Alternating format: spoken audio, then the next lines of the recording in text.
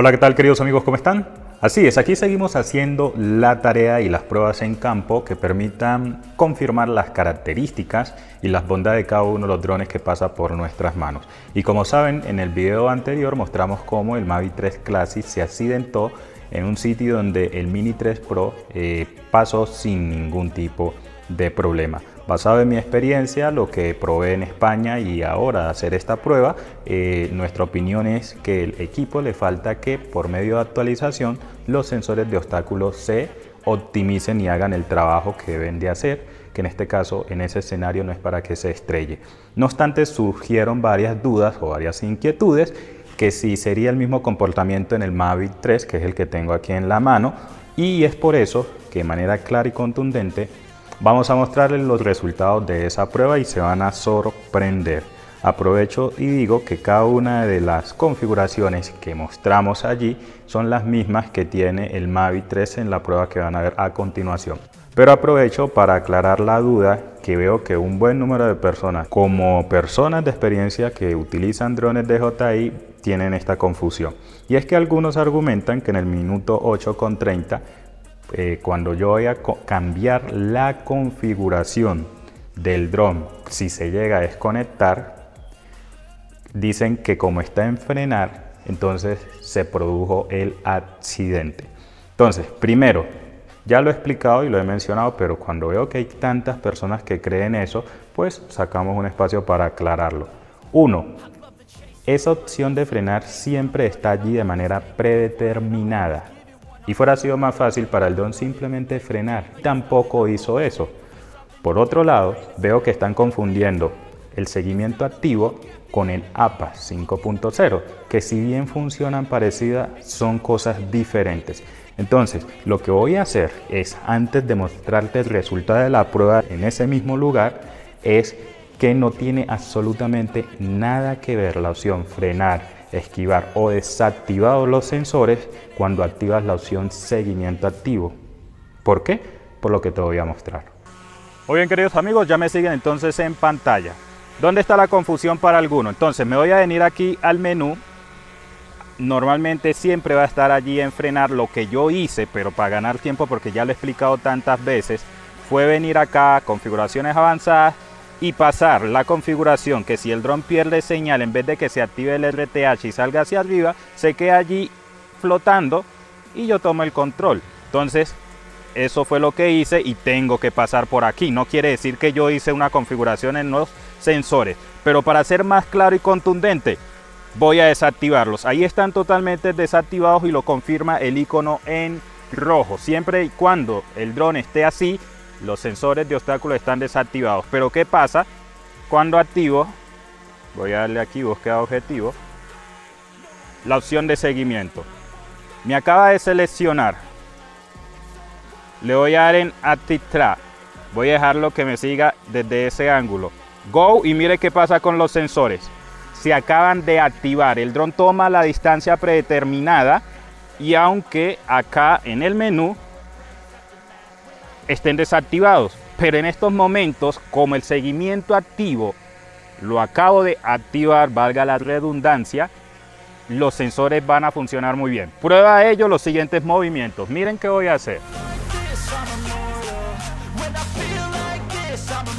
Ven cómo rodea, cómo me busca. Se la voy a complicar. ¿Cómo? Moviéndome hacia acá.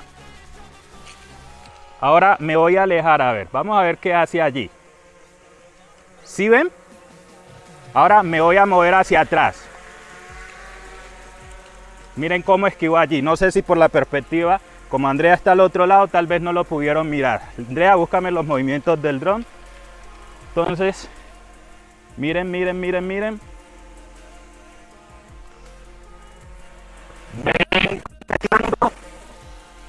Miren ahora. Por acá, por acá. Miren, miren, miren.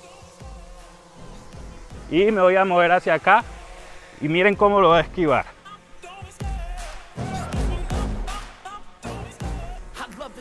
Eso es el seguimiento activo donde no importa qué configuración tengan los drones, simplemente de manera automática los sensores se activan. Voy a quitarlo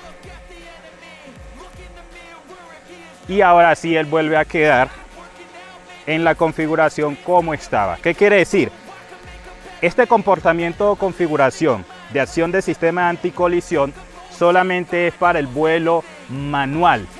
Todos los modos inteligentes de seguimiento o tracking automáticamente, no importa dónde esté la opción aquí, se activan para seguir al objetivo. Ahora sí, con esta aclaración, vamos a pasar a la prueba de fuego.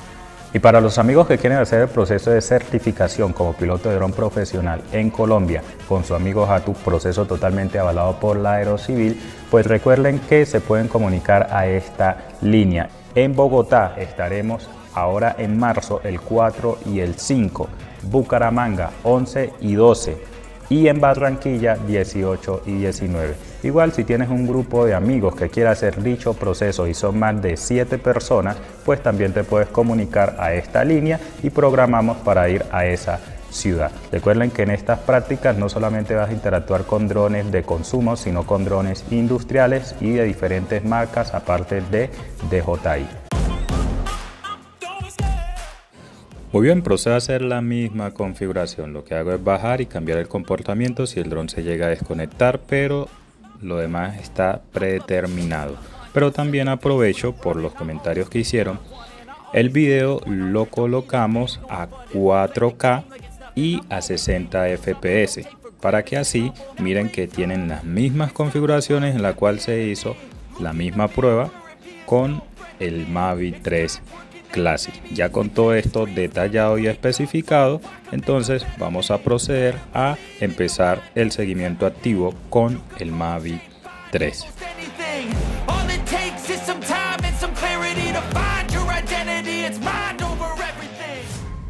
Muy bien queridos amigos y justamente miren el comportamiento que va a tener el dron tratando de mantener la misma velocidad y la misma contundencia a la hora de pasar por donde se estrelló el Mavi 3 Classic.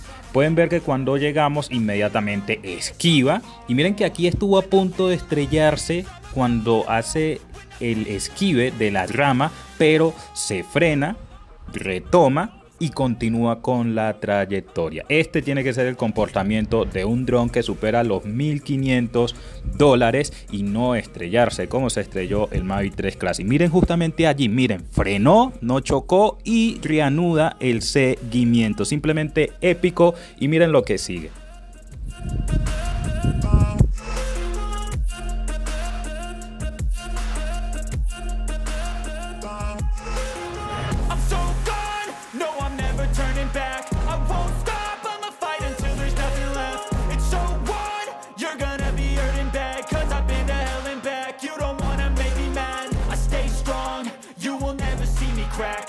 Bueno, ya en este punto decido detenerme para pues no conseguirme tal vez a alguien ya ahí más adelante y como pueden ver, bueno, la emoción es grande, no pueden escuchar lo que estoy expresando porque el control no tiene micrófono, pero sí hago lo siguiente y es montarme otra vez y me voy a volver por el mismo camino. Pero prestenle atención a lo que pasa allí porque como pueden ver, cuando empiezo a retroceder, el dron también retrocede. Tengo unos obstáculos que se pueden ver con eh, los sensores, el radar y no se choca en ningún momento, queridos amigos, lo cual confirma que el firmware del Mavi 3 a fecha actual ha evolucionado demasiado y no está igual al del Mavi 3 Classic. Miren aquí cuando vamos, eso ahí se llevó una pequeña rama, lo cual confirma que ramas delgadas todavía no están en la capacidad de esquivar, pero ya algo un poco más tangible sí lo hace. Cuando él ve que tal vez no puede seguirte, se va a detener o desacelera cosa que no estaba haciendo el Mavic 3 Classic. Aquí también se puede ver cuando nos devolvemos, miren cómo pasa arriba de las varillas, vuelve y retoma, esquiva el cable, la rama allí por abajo. Cuando ya llegamos aquí a la entrada de la finca pasa por la parte superior. Simplemente es una máquina y le falta un poco de velocidad para que hagamos una prueba contundente contra el Escadio porque ya el Mavic 3 ha evolucionado. No está de más decirte, querido compañero, que si las pruebas que hacemos en campo real con este nivel de presión y exigencia a los equipos que nos llegan te gustan, pues no olvides suscribirte, activar la campanita y por favor darle un gran like que se valora en todo este esfuerzo por testear los equipos como tiene que ser de manera exigente y contundente.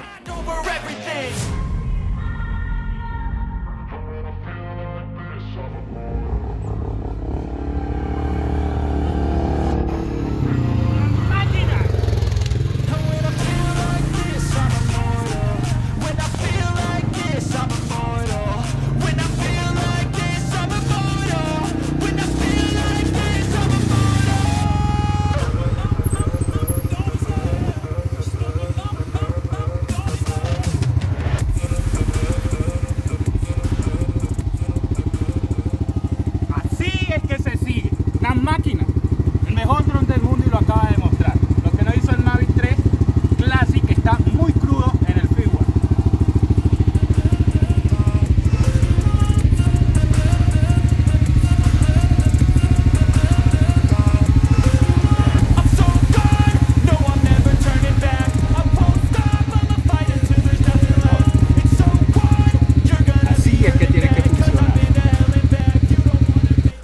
Muy bien, queridos amigos, creo que todas las dudas que podían tener respecto a este tema, de esta manera clara y contundente al estilo Hatu en campo real, quedan totalmente despejadas. Hemos visto que no influye el tema de la configuración que hablaban algunos. Ya sabemos qué pasa cuando usted activa la opción de seguimiento, qué pasa con los sensores automáticamente.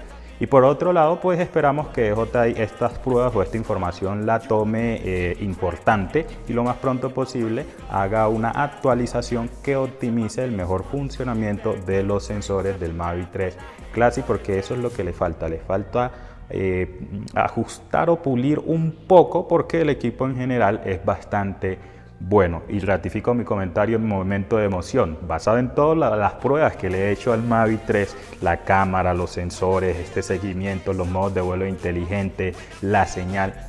Para mí es el mejor dron comercial que hay en estos momentos en el mercado. Ya el tema del precio, pues a medida que ha pasado el tiempo va ratificando sus bondades que no tienen otros equipos.